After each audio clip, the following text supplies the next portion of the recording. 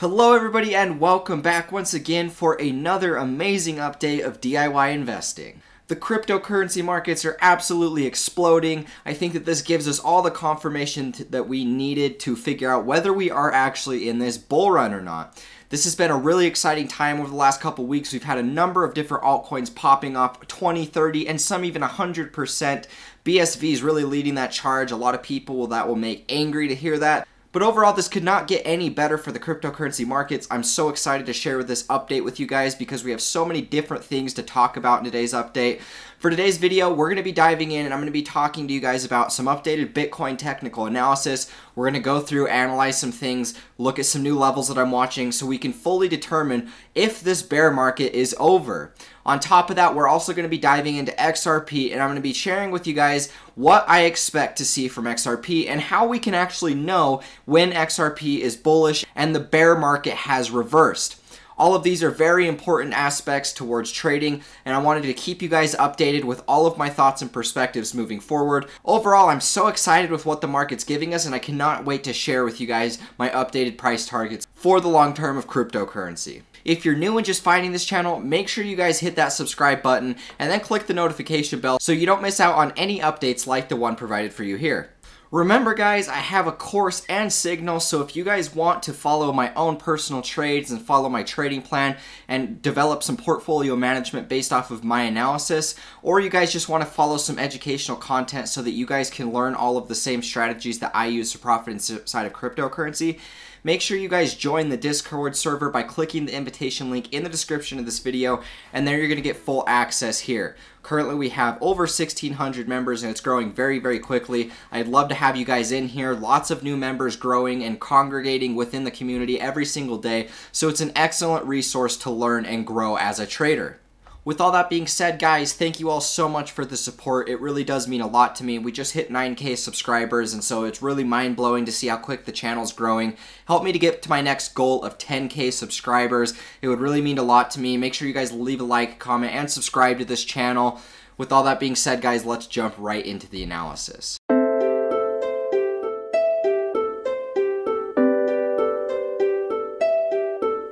So here we are guys taking a look at XRP on the dollar. Now if you guys remember from some of my other videos I told you guys that I was going to start doing the altcoin analysis first because you guys are generally here for the altcoin analysis. If you want to see my Bitcoin analysis you'll just have to wait until I get done with this first part of the altcoin update and then you guys can see what I'm expecting with Bitcoin moving forward. Now the thing about XRP is the fact that this one has maintained a pretty severe bear market this entire retrace. Uh, where other coins made a higher high, XRP has continued to fall. And partially that's one of the reasons why I've been buying so much of it is because, yes, there's added risk involved with this, but at the same time, there's actually more upside potential than a lot of the other major coins. And so I've been a big buyer. On top of that, I've been watching a fractal, and I've updated you guys very significantly with that fractal because I feel like it's very important that we watch out for that. Now, some things that I'm noticing inside of XRP. Uh, before we jump into that, let's actually just go through and analyze kind of the fractal that I was seeing for some of you new guys that maybe haven't seen it as much. XRP uh, is creating this market cycle fractal, and this fractal is almost identical to the current bear market consolidation. And really my reason for pointing this out is because I think that a lot of people are very shaken out of XRP's market. A lot of people, big accounts especially, will talk down on XRP. They oftentimes say a lot of negative things about it, and to be quite honest, it's one of the best performing altcoins uh, over the last six years. It's continued to stay in the top five in market cap.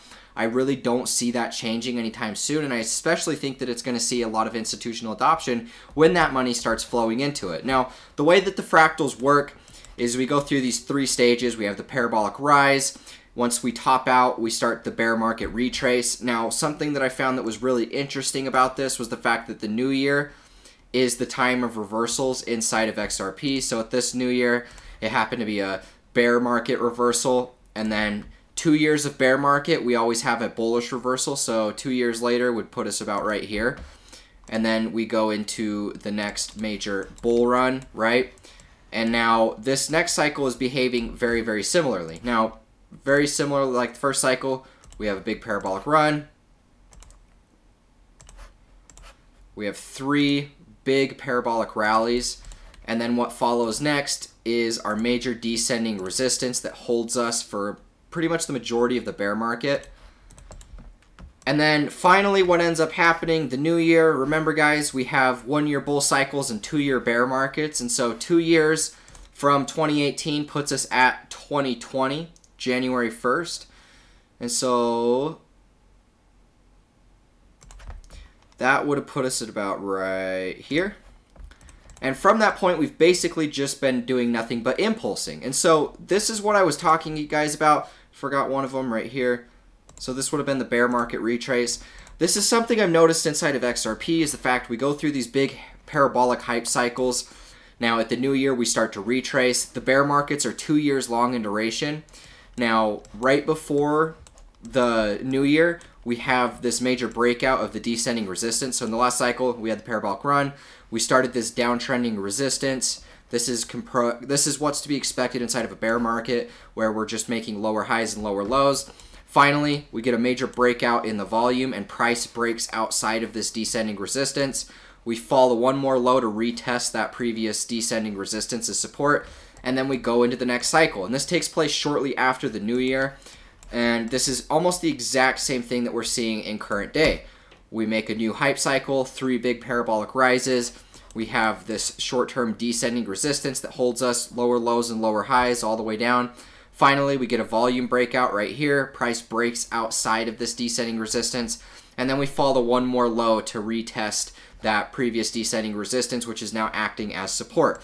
Now, what's interesting to me is the fact that we weren't getting an impulse until right after the new year. And so this is following this time frame analysis that I've been sharing with you guys is following it perfectly. I told you guys that I was expecting a major bull run to ensue after the new year because that's just the way it works thus far. I said it's possible that we could go for one more low, and that's still a possibility that I'm watching for. Um, we could very easily retrace from where we're at, fall to one more low that would take us to about 15 cents, and then that would be the bottom in which I would assume. Now, it's possible that we could have already bottomed at about 18 cents, 17 cents, right around that area. And so this is kind of what I'm watching out for with XRP. Now, overall, guys, this is a fractal that I've been watching for a while because it's one of the most symmetrical fractals I've ever seen. To, to, be quite honest, it's the most symmetrical fractal I've ever seen in cryptocurrency. I've been staring at charts every single day for four years, and I've never seen one uh, play out this identical to the previous cycles. And so obviously there's a lot of algorithms that are running on XRP. I have no idea who is doing it, but what I can say is there's people buying this, and this is going to have a very profitable market cycle. Now, kind of what I'm seeing, guys, um, and let's actually go through and remove all drawing tools real quick so that we can so that we can see kind of my updated thoughts and analysis. So what we've been seeing up to this point is the fact that since the bear market started, we've seen lower highs and lower lows all the way through. We keep getting rejected at resistance and we fall lower. We've yet to make a higher high this entire bearish cycle and we just continuously get knocked lower and lower. Now, this is the thing that happens inside of a bearish trend. You always see us fall, su fail support, go lower, make a lower high, lower low, lower high, lower low, lower high. This one didn't make a lower high, but a lower low, but we made a lower high, lower low, lower high, lower low. And so right now, guys, technically speaking, until we break out of this trend, this current bear market consolidation, this is nothing more than another lower high. And so we really need to be paying attention for this. I know a lot of people are excited about what the cryptocurrency market's doing. And with Bitcoin breaking out, that leads me to believe that I have a lot more faith in this actually being the bottom. But we still need to be wary about things because of the fact, guys, every single time we sell through support, we get rejected and that previous support now becomes resistance and then we fall to another low. And so this was the previous resistance right here. Look how close we are. We're literally right at that resistance zone. We're retesting that almost right where we're at now. And so if we don't break outside of this, then the only logical explanation that we have for it to happen would be a sell-off back down to one more low. And I would actually assume that that low would take us to about 15 cents, or roughly the very bottom of our 2017 consolidation, about right there. So this is what I'm watching out for inside of XRP. Now, I am very excited about this. Don't get me wrong. I'm very hyped about the fact that we are going up. We're seeing some nice um, buyback happening inside of the altcoin market. But I can't say that this the bottom is in quite yet, and nobody really can at this point. Anybody that's trying to tell you that the bottom is in um, doesn't know what levels they're watching. Now I know that this fractal looks identical to the last cycles, but with fractals they're never going to be 100% exact, and it more often than not um, it's going to be a little bit different. So kind of what I'm watching out for with XRP is the fact that we make lower highs and lower lows. Now 30 cents was basically our support floor throughout the majority of our bear market consolidation, and we just started selling through that. And so what really needs to happen as of right now is the fact that we have to make a higher high. We've made higher we've made lower lows and lower highs the entire consolidation, but right now we are at a very decisive point where we have to break out and make a higher high. Otherwise, we're going to get rejected and we're going to fall to one more low. Now, the fact that we're so close at resistance leads me to believe that we very easily could experience a pullback at this time. Now, if we get that big, strong impulse and it takes us upwards of about, it's about 25 cents, um, that should be enough for us to hold support here, but we really, really have to hold support above where we're at right now. Now, kind of what I'm watching for is something along the lines of this. I want to see us consolidate on the support, make a higher high, and then that will set us up for about a 45 cent XRP we might fall back down to about 35 cents, consolidate here before going up even higher. And so this is what I'm watching out for with XRP currently. The fact that a lot of people on Twitter, a lot of influencers will try and shill you that the bottom is in. And the fact of the matter is, almost all of those people don't know how to trade technical analysis. And really, technical analysis is really a small part of trading. I mean, any idiot can draw charts and predict where price is going to go, but it takes a special kind of person to actually be able to profit inside of the market using technical analysis. And so, what I'm seeing currently is a lot of euphoria amongst Twitter, a lot of euphoria on YouTube. I'm seeing all of these influencers really hyping up XRP, saying the bottom is, eh, saying the bottom is in, shilling really high price targets again. And every single time this has happened up to this point, XRP drops. And so I want you guys to make sure that you're safe. I want you to be aware of these things so that you're not stuck FOMOing in right at resistance because every single time up to this point we've hit resistance, we've made a lower low. So I just wanted you guys to be updated with that. Now, overall, this is looking really nice. I love the fact that we're impulsing so high. I would absolutely love to see us break up higher than this and then hold support and make a higher high because that to me would prove that the bear market is over inside of XRP. Now we do have this little bit of a descending resistance right here and we're basically like right at that. Now you could count this wick right here to be a little bit more conservative, but this was the current consolidation that we're seeing, this lower low. Um, we need to either break out, well, what the most ideal scenario would be us to break outside of this little descending resistance that we have here and then retest support and then land on support and have a confirmed support and resistance flip. And so this is basically what I'm watching out for with XRP. I wanted you guys to make sure that you were updated with all of my thoughts and analysis. I haven't talked about XRP for a little bit. This is one of my better altcoins that I'm holding a significant portion of of my portfolio because I do have a lot of faith in this one performing well. But at the same time, I know how the cycles work. Um, I know that in a bear market, we have to make a higher high before we can even go up in the next bull cycle.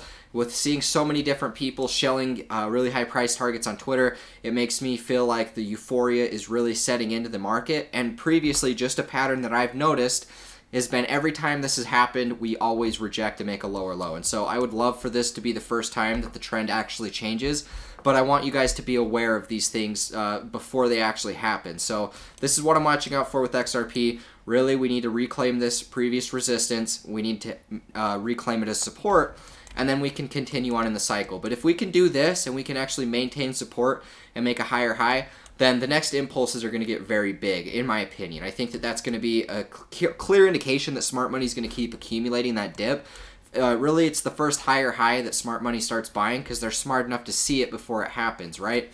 And so this is the analysis I had with XRP for you guys. If you guys like this analysis, always remember to leave a like, comment, and subscribe to this channel. Now, for you guys that are ready to see the Bitcoin analysis, let's actually switch screens and take a look at what I'm expecting to see with Bitcoin. So here we are, guys, taking a look at Bitcoin on the dollar. Now, this has been a big question as far as when is the bear market actually going to be done? When is this short-term bear market consolidation going to be over? Are we ready to start impulsing again? Now, you had so many different people drawing different trend lines, people were drawing them like clear out here and they said, oh, well, we got rejected. Once again, we're going to make a new low. I personally said that we broke out. Um, so I was playing it a little bit more risky, I guess, and I wasn't playing it as conservative as other traders would be. But I already told you guys that I thought it broke out. Now, the fact that we're getting another major impulse out of this actually proves that we have broken out because now we've exited even all of the descending resistance with the wicks. And so there's really no descending resistance that we haven't cleared yet. And so things are looking very good inside of Bitcoin. Now, one of the things that I was personally watching for and the reason why I thought we broke out was because if you switch it to a line chart, it really helps to minimize all of the noise involved. Now, with the line chart, we broke out, retested, and then we started impulsing again. And so this was what I was watching for, and I told you guys that right here we broke out. A lot of people didn't believe me, but personally, I don't care. I follow my own analysis, and I felt like this was a confirmed breakout at this point. Now, we consolidated here for like seven months inside of this falling wedge, and that's actually what I'm going to call this chart pattern. Now, the way that I like to trade falling wedges is I like to have at least seven reactions to the descending resistance. And so if we drop it to regular time scale, let's see how many reactions we got inside of this cycle. We had one, two, three, four, five, six, seven, eight, nine, and 10. So we had 10. I shoot for seven. This was a very contracting falling wedge. It's one of the most symmetrical falling wedges I've personally ever seen inside of cryptocurrency. And it doesn't really surprise me that it came inside of Bitcoin because Bitcoin is the biggest driver of value in the cryptocurrency market. Bitcoin has the most symmetrical chart patterns that ever existed, in my opinion. You won't find this type of stuff on a stock market chart uh, because it's just a different sort of uh, beast entirely. Now, the fact that we're breaking out right now and seeing such a strong impulse um, my next target's going to be $9,500, and I actually updated you guys already with that. So 9,500 puts us at about right here, roughly the top of this resistance. I think that it's possible that we're going to hit up to this level. I would say anywhere from about 9,400 to 9,500 would be roughly the top for Bitcoin.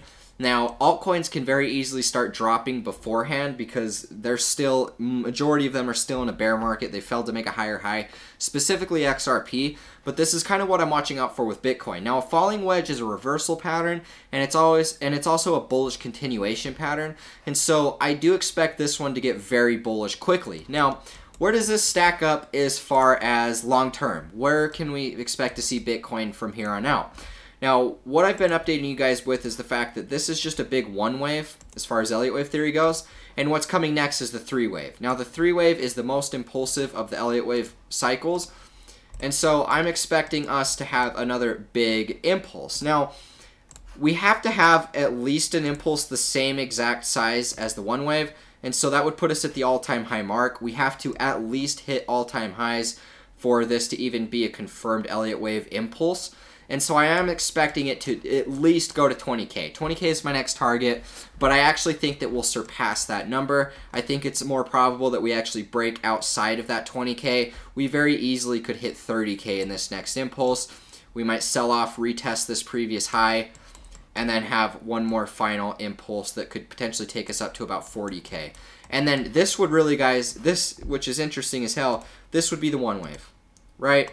And then we'd have another three wave, and then we'd have another big five wave. And so this is what I'm watching out for inside of Bitcoin. I think that the next three wave could very easily take us to about 100k Bitcoin.